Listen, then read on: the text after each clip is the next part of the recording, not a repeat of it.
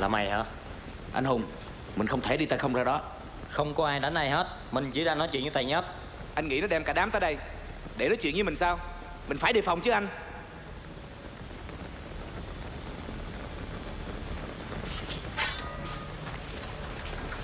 Anh Hùng Anh đừng lo cho tụi em. Anh cứ làm những gì mình cần phải làm. Anh Hùng